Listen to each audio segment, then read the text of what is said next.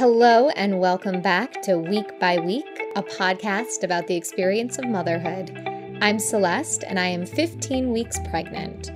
We start this episode with a conversation with me and my husband, Dave Hill. I'm going to be honest, very grumpy to start off with. That's okay, that's where I am. Later on in the episode, I have an interview with my mom where we talk a little bit about what it felt like to find out she was going to be a grandmother.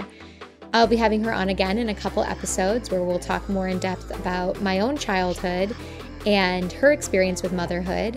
But it was really fun to talk to her, and I am excited for more. So here we go.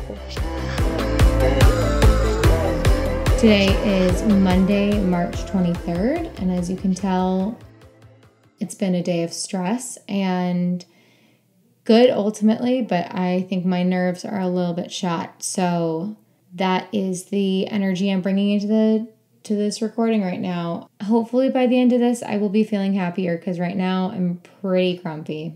But you know what? If I don't, then fuck it because I'm home for the night. It's been a long day. It has been a long It's day. been a very long day. So I was saying that we had a we had an grammar appointment today. It would have been our two week appointment. It was supposed to be last Friday, but because of the fever I had the Friday before that, we had a couple days buffer. So Mhm. our doctor is currently out of the office, so we saw a nurse practitioner, and she was great. And she was unbelievably good. Yes. she was wonderful. And then the rest of my my doctor will review the charts and everything. So Mhm. we'll be double covered. So that's really good. double covered, covered and covered. I'm so close to being ready to joke around, but I'm just I love it. Please keep doing it. I just I'm trying to meet you there and I'm just so grouchy. That's all right. I almost Sometimes I have to go there first so that you know it's okay to go there. Yeah, that's true. And sometimes we get in fights and you go there and I'm not ready to go there. But Yeah, we're not but in a fight to, right We're now. not in a fight right now, and and also, yes, we do that sometimes.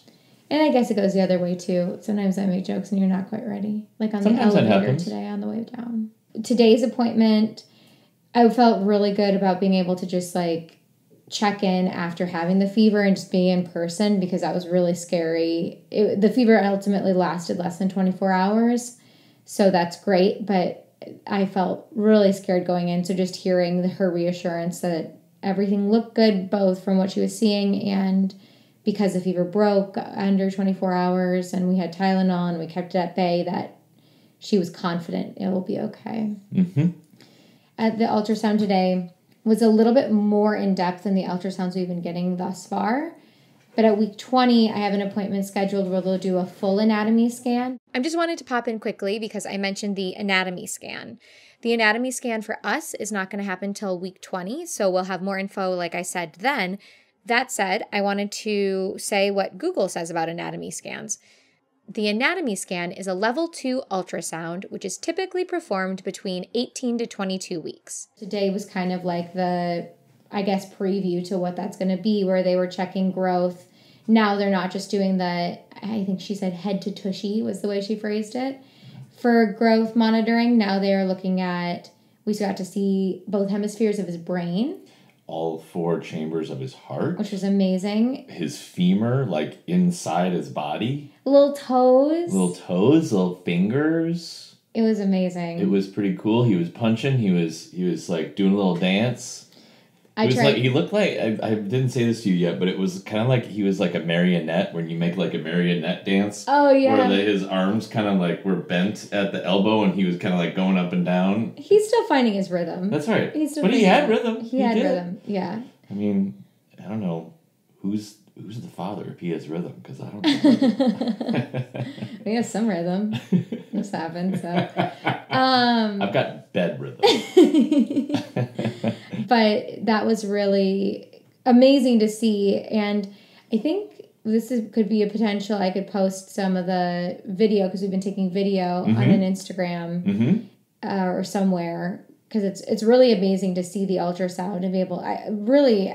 I have a friend who is pregnant right now, and she was telling me about seeing the brain at an ultrasound and how cool that was. So I wasn't surprised that we got to see that, but I didn't know it was going to happen this time. And it was truly amazing and Really cool. makes me feel so super powered that I've grown a brain. You growing a brain. I'm growing a brain. growing a brain and a femur and a heart and and kidneys kidneys and his little little buddy. And his little man parts. little man looking good. parts that we saw today too. We got the confirmation that yes, he is a boy today, uh, without a shadow of a doubt. hmm He was a gentleman and had his legs crossed. He was. So we had to get the right angle so we could make sure. I was proud he takes after his papa. Yes, yes. I uh, am going to raise a gentleman and I have a, I married a gentleman. So good choice on my part, I guess. I'll never tell.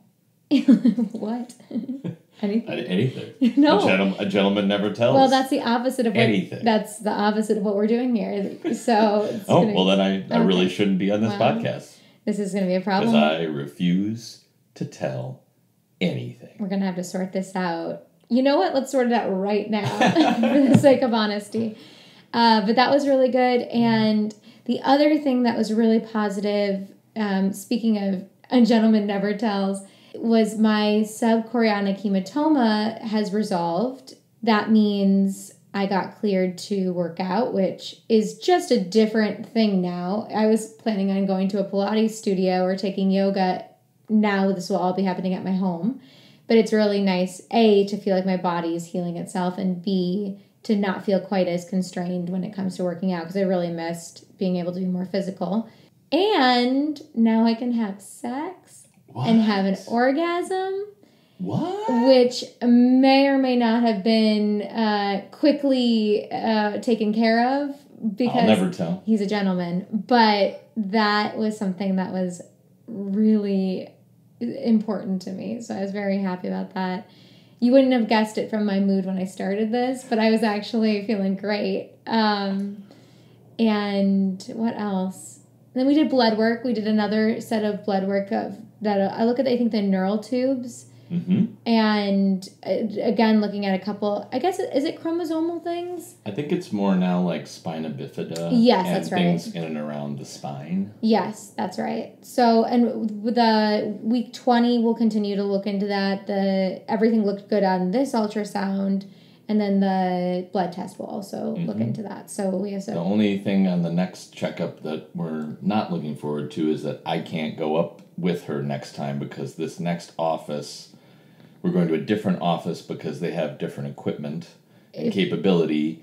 And this particular office, given everything with the coronavirus, they do not allow significant others or anybody else to accompany the pregnant ladies. so the the clinic i go to has said that my spouse dave or a one spouse or one's partner i guess whatever can come still which i know is not the thing that every clinic is doing so i feel really lucky that i still get to bring him there because that's so do I. it's a i think it's a really special time to share together and it's i get really nervous before the ultrasound every time because So i just want to make sure he looks great and everything is good and Yep. so it's it, it's really comforting to me to have him there and also just to navigate so I'm not the only one remembering everything that's said Mhm. or I'm not the only one asking questions. It's just nice to have a teammate in this cuz that for me is really important that it's it is this is happening in my body but we're in this together. So that appointment just really quickly we'll obviously get into that at week 20 when we do that but that'll be really going in, in, in more in-depth anatomy scan and then the cool thing is that we'll be able to do a 3d scan 3d 4d scan of his face where my doctor has already warned me he will look very skeletal because he doesn't have fat on him yet but it'll be amazing to see his face. And that that checks for like cleft palate and all that kind of stuff but also cleft lip i guess is what it would check for Mhm. and Both. but yeah it'll also be just so cool to start to see what he's developing into Yeah. and how he's looking Even if he is Skeletor, Even if he is Skeletor, I have a my feeling is that he's going to look like Dave, so we'll just have to wait and see. Yeah, I, th- I think he's gonna look more like you, but we're gonna definitely have to wait and see. It's a but we got really good shots of his little profile today, which is really nice. My Um, doctor said I was very hydrated when I peed today, and I was very proud of myself You've really been working hard to I've be hydrated. really been trying to drink water. Yeah, you've been doing great. Today was incredibly nerve wracking with everything going on. I actually did want to talk about that a little bit more. Do you want to talk about the kind of precautions we tried to take going in there and, and the stress we were both feeling? Yeah, I mean, we were trying to, a like you know, as so many people are doing when you're outside and about, like we are trying to social distance as best we could. We got pretty lucky with elevators. Um, we timed it out too. timed it out. There was one time where somebody was like coming up on our heels, and we're like, we just went around the corner and came Yeah. back after they left. Yeah, I had uh, hand sanitizer. We've got a a, uh, precious uh, one Purell hand sanitizer. Gold. um, which feels like gold, and we use that uh, liberally. And then had some plastic bags that I brought to open doors, like you know Ziploc bags, push to elevator buttons. push elevator buttons and things like that. And uh, Environmentally, not my first choice, but we're in a great. very specific time, so but we're not driving anymore. we're not driving anymore. So you know, it's, it's it comes out in the wash. But uh, yeah, we were taking a lot of precautions, and but I will also say that the office did quite well at, at being aware of things as well, and and it was good to see. I think that the office was up and running fully, and everybody was there doing their level best, and and really giving good care, and everybody had the right attitude, and um, so that that was comforting. But Everyone was very friendly, Yeah. even though there was a lot of like shuffling people around because they're trying not to get anyone to cross paths. And I thought that was a testament to the people working there absolutely, because it can't be easy, obviously. And I know for us, it's this is such a strange thing to go through. The coronavirus pan- global pandemic is a strange thing for anyone to go through, but it's strange to go through pregnancy right now because you're alert on a different level. I, I wouldn't leave the house right now if I didn't have to Yeah. just for my own personal preference and also because we have compromised immune people around us who I want to do everything I can to try to take care of other people. Yep. So very strange time, but we we got through it and now we're going to drink a lot of water and get a lot of sleep and take our vitamins and be as good to our bodies as we can for this next cuz now we're going to end up quarantining again for yeah, the foreseeable future. at least a while. So August And August we'll definitely be in bed together, but I'll never tell. Oh my gosh, I'll never tell never what tells. happens. And here's the fun part. But I, we will be in bed together to sleep. We- but yes. that's all that I will ever tell. and I will tell you the details of what happened because my true probably favorite topic is sex. So I'll tell and then he doesn't have to. Well, you won't have any other verification. You'll just have your word against my non-word. Well, and I guess the other verification for us in general is like we're growing a human being. So there is Baby. some Baby. there's some verification that it ah. happened. Anyway, No comment. At week 15, the baby is around the size of a pear, which is so cute and also really makes me think of my grandpa who loved pears and he was a great funny man. So it's fun to have kind of associations for family. His name was also Boris and he really wanted a grandchild named, I guess it'd be, yeah, a grandchild. No, a great grandchild. Wow. He really wanted a great grandchild named after him, but I don't think, spoiler alert, I don't think Boris is in the cards for a name, but I will find other ways to honor him. So, baby's eyes and ears are, I guess, now at this point, they have moved into the proper place and are rapidly growing, which is darling and exciting.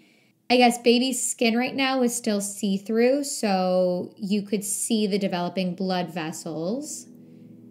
Oh, and baby's little skeleton is starting to ossify, it says. So that's cute, and he's becoming a little, I guess, a little stronger boned little baby.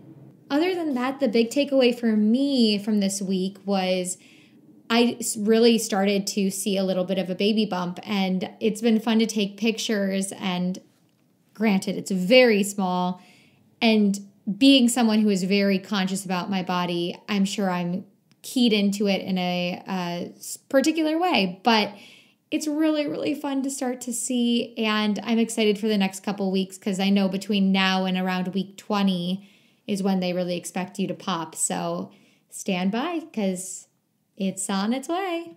Another thing that's not quite as fun I have had more bleeding in my gums, which is something that my guess is just because of the increased blood flow. I kind of blame everything right now on increased blood flow, and I'll look into that more. But when I floss, because I am a good girl and I floss every night, when I floss, I do notice that my gums are more likely to bleed or when I'm brushing my teeth. So I'm trying to be gentle, but that also is something that can happen. What causes sore and bleeding gums during pregnancy? According to What to Expect, there are several factors, including surging hormones and swelling gums. It says, no surprise here, hormones are the likeliest culprit. They also leave your mouth more vulnerable to bacteria and plaque, both of which make for tender gums during pregnancy and can also cause gingivitis and tooth decay in some women if not treated properly. Geez, well, I promise I'm flossing and mouthwashing and brushing my teeth and all of that, so fingers crossed we get through this. Next is changes to your mouth and eating habits. You also may be producing less saliva during pregnancy and eating more sweets and carbs, creating an oral environment that's friendlier to plaque and cavities. Wow, it just keeps getting worse, doesn't it?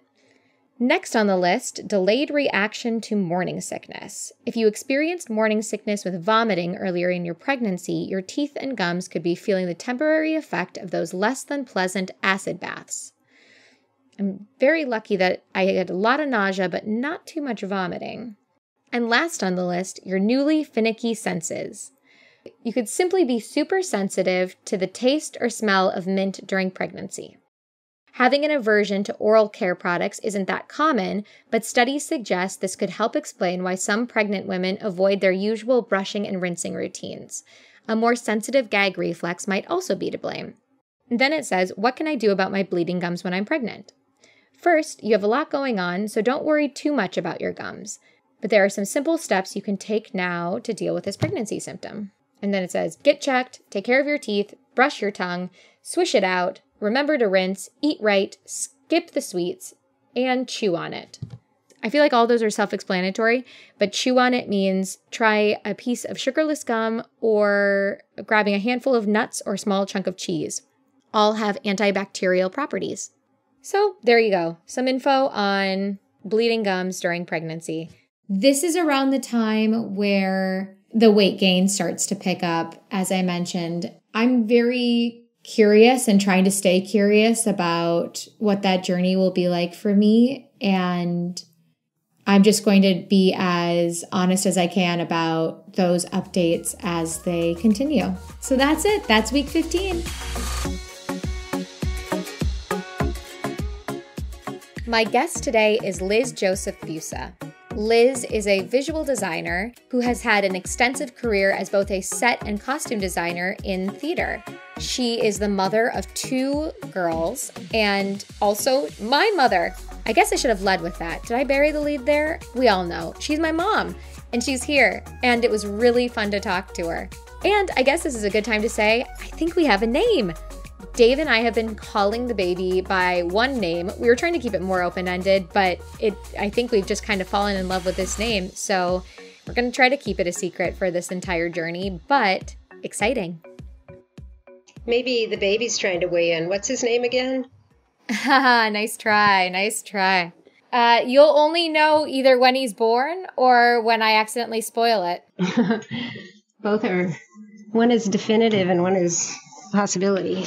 Yeah, one's a pretty strong possibility for being honest. It's it is very close to coming out of my mouth a lot of times. Tell me what it was like when uh, I first told you. I'm just going to jump in really quick. So, when Dave and I told our parents that we were pregnant, it was a little bit after Christmas, and his mom was visiting. So, we got all of our parents together and had a dinner. After dinner, Dave and I wrapped three boxes and gave them to our parents. And we said we had one more present that we didn't have ready at Christmas time, but we wanted to give it to them. We gave them the present and then we had them open them all at the same time. Each mom got one little newborn size Converse, and my dad got a little bunny rattle. And that's how we told them. Well, I, I, knew something was up, but I didn't know what it was because there was a surprise in the air. Uh huh. Um, and we were all together. I mean, there was, but I thought it, it was an extra present. The way that you Yes. framed it, obviously, I believed you. That was the goal. Um, but it was thrilling, and I, I, um, I just can't tell you how. I didn't. I knew I'd be excited at the idea of a grandchild, but I didn't know I'd be this excited. oh, that's so and sweet. um, I for for years, which seemed crazy to me from the time you guys were kind of out of the house, I've had various people say, "Don't you want to be a grandmother? Aren't you ready to be a grandmother?" And I said, "I'm ready when my children are ready."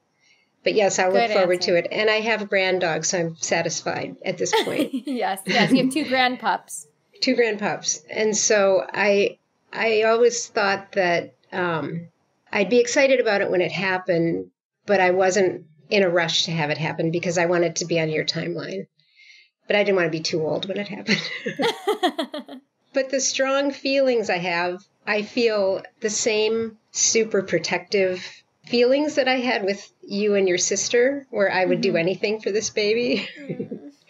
and just the anticipation of, like I was saying to Daddy the other day, I can't wait to do art projects and to just carry him around. And like from from the day one through his development all the different kind of activities and sharing that we can do I, it just feels like another whole level added to my life oh, I love that so much. which is so great I think you and I are similar where I think that you and I get pretty strong images come into our head a lot when Mhm. we think about things and like it's really easy to start imagining like really specific experiences. hmm Have you had you said like doing art projects and carrying them around? Have you had any other of those kind of images come to mind when you think about experiences you want to share with him or excited moments you have or anything? well so many things i mean just mm. thinking about things as simple as introducing to new foods or Yeah. taking his little hand and going on a walk and looking at the flowers that are blooming. You know, they're just from simple things to larger things like going to a museum or just having conversations. Yeah. And really excited about watching you and Dave parent together. Yeah. What do you think? I just think you're going to be the best parents. I can already see how great you're going to be and how loving and how you'll have, you know, the humor and the intelligence and the whole emotional range. And he's going to be a lucky boy. oh, we're going to be lucky parents, that's for sure. Yeah. I I want to go back to that, but before we get too far from what you said, I love what you said about uh, walking around and looking at flowers because Mhm. that's a memory I have so clearly of walking around with grandma and going on nature Mhm. walks and stuff. And so I think that some of that generational stuff is really exciting and and now kind of moving into the next phase of like where I am in my cycle and like getting to see that pattern repeated feels really exciting. And I have thought often of Grandpa and Grandma and what they would, first of all, how thrilled they would be Hmm. and and what they would bring into the relationship. You know, it does kind of I naturally have a million things I want to do with them, but also it kind of informs some of those other things because that was something I did with grandma too was she took me on many nature, nature walks and if only I remembered all the Latin names of all the plants she taught me about. She was but- incredible with that. yeah. So I think yeah, you bring along all that stuff with you. Thinking about grandma and grandpa, is there any like trait or energy or experience or anything that comes to mind for each of them that you would want carried on or like something you think of when you said like um, I think of what they would say or you know what that experience would be like with them. Is there anything that comes to mind? I mean, they both embraced you guys fully the minute they laid eyes on you. I mean, they. I know Grandpa was so protective. You know, he he like kind of cradle you in those big hands and. He was a very tall. We have some very, Very tall. tall. genes in our family. six four and up. I think with him, the thing that we all probably think stands out is his playfulness and humor. Yeah, yeah. And he got such enjoyment out of spending time with you guys. And you guys really, I always said that he met his match with you and your sister because you just fell right into joking back with him the same way that he put it out. I mean, I think with and with grandma, she was always so interested in everything you were doing, whether it was a show or some piece of information that you had to give her. Actually, they both were intensely interested in your activities. They both had a real deep interest in what you were doing and thinking about and and I'll just put that out there. You guys were her, their favorite grandchildren. hey, I'll take it. Uh, right. do you have an idea of what you want to be called by him? I've thought about that and I don't know. I mean, I feel like in some ways that's kind of organic. Like he'll mm-hmm. figure that out and I'll be happy yeah. probably with what he decides. Maybe. Within um, reason. So I don't I don't know. I mean, I've thought about different because I I feel like since from the time I was growing up, mm-hmm. people there weren't uh, there wasn't as much variety. I guess maybe mm-hmm. I feel like there's a lot more variety in what people are being called. Yes. Um, maybe I don't know. Maybe I yeah, just wasn't no, aware of it. That's right. As long as it you know is a genuine kind of thing that Feels he wants natural. to call me. Title. You're gonna end up with such a bizarre name, and you're gonna be like, "Well, I guess I asked for this." That's what it is. That's what it is. I'm really excited to see you guys holding him for the first time, or like just that that initial meeting feels really exciting to me. I'm very excited about that. What do you think about having a grandson? Since we've had, I mean, it's you and me and sister, and we've had all girl pets basically. What do you think about having a boy into this mix? You know, honestly, it was a little bit of a mind shift when you said you were having a mm-hmm. boy, but I am so excited about having a grandson. Yeah. And I, you know, we take so many walks these days because it's our one big activity. And I see all these little boys walking around with their parents, and they're so adorable. I know. And I picture him when I see little boys of various ages. I'm, I'm really excited about it. I'm really perfect. It feels perfect to me. Oh.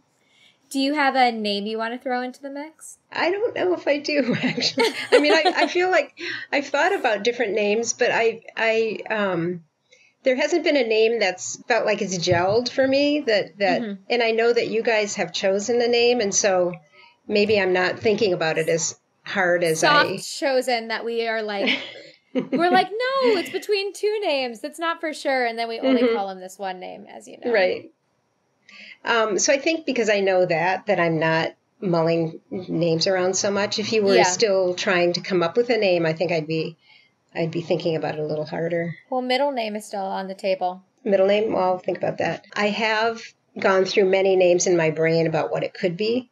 Do you want to take a stab at it right now?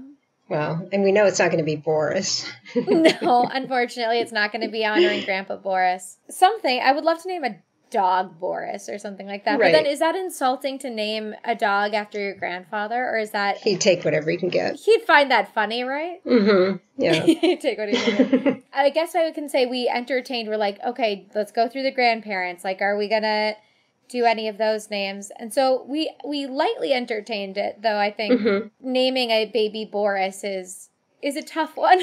well, and there are a couple of Borises out there right now that maybe wait a little. I felt more nervous to tell you guys than I was expecting to feel. Mm-hmm. And not because it was like crazy, but I think it's it's just like it's so vulnerable at first to say it out loud mm-hmm. because you're like this is so weird and such a mental shift for me. I got really nervous before we gave you guys the presents because it was mm-hmm. like especially because I do think even though you knew a surprise was going on, it was not like we had started to have like a lot of conversations about how we were trying or anything like that. Mm-hmm. So it mm-hmm. felt like I was like, is this going to feel really out of the blue or like, you know? I mean, it was a great surprise, but it was. I mean, I figured that it would be happening sooner rather than later. Yeah. And so and we had talked about that a it little felt pretty natural to hear it. That's good. Exciting and thrilling. Good. I don't know if this translates as a question, but I think a lot, obviously, about what it's going to be like watching Dave with him. Mm-hmm. What do you think it's going to be like watching your husband become a grandfather? I think he'll go at it as naturally as he did when he became a father. Oh, I love that. Because he he just jumped right in. I mean, it was I'm trying to think. It was if if we had a lot of conversations about initially, like what was it? What's it going to be like when we first meet you guys? I mean, I think we thought about it and kind of touched on it, but I can't say I was surprised, but I was. It was really so interesting and to see how how easily and naturally he mm-hmm. handled you guys and talked to you and it was like he had done it his whole life. Oh, I love that. Yeah. And just really had an ease about it. He was never nervous about holding you or I mean it, it felt really natural the way that he approached dealing with a tiny baby. I love that. Yeah. I'm I'm very excited. It's going to be very fun. Yeah, he's very and crazy. Too. I mean, mm-hmm. it's. I, am so excited to see all of you with him. I'm so excited to meet him. I'm just, I'm so excited, and like, it's hard to wrap your mind around, but I'm so excited. It's really the greatest thing.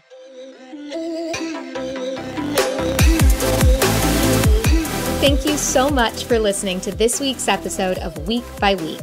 Please subscribe, rate, and review wherever you get your podcasts. And follow me on Instagram at Week by Week Podcast. Check out the show notes for additional resources I used or referenced in today's episode and for more info about today's guest. This podcast was produced during the COVID 19 pandemic and recorded remotely. Our show today was produced by me, Celeste Busa, and Dave Hill, and edited by Douglas Sarine and Colleen Beasley. Week by Week is a Gumption Pictures production.